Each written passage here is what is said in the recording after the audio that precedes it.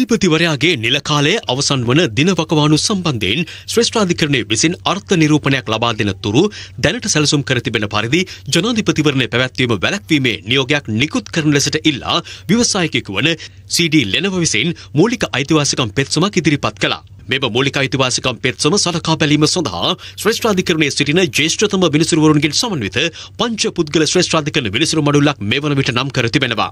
අගවිනිසුරු ජයන්ත ජයසූරිය විසින් මෙම විනිසුරු මඩුල්ල නම් කර ඇති බව වාර්තා වනවා. ඒ අනුව අදාළ විනිසුරු මඩුල්ලේ සමාජිකයින් ලෙස අගවිනිසුරු ජයන්ත ජයසූරිය විජිත් මලල්ගොඩ මුර්දු ප්‍රනාන්දු ප්‍රීති පත්මන් සූරසේන සහ එස්තුවේ රාජා නම් කර තිබෙනවා. මෙම පංචපුද්ගල ශ්‍රේෂ්ඨාධිකරණ විනිසුරු මඩුල්ල ඉදිරියේ අදාළ පෙත්සම සලකා බැලීම සඳහා ලබන අටවනදා කැඳවීමට නියමිතයි.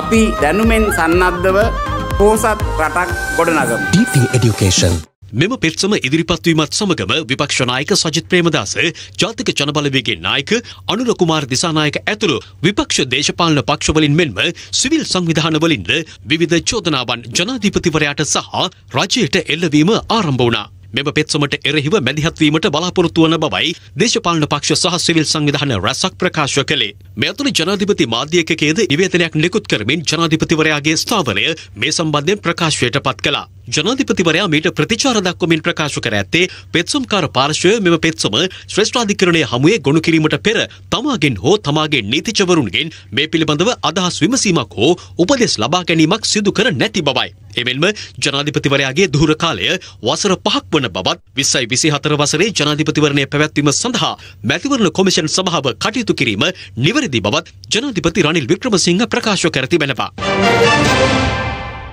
රටේ ලෝකෙ සිදුවන උණුසුම්පුව දැනගන්න සියත නිවස් YouTube චැනල් එක අදම සබස්ක්‍රයිබ් කරන්න.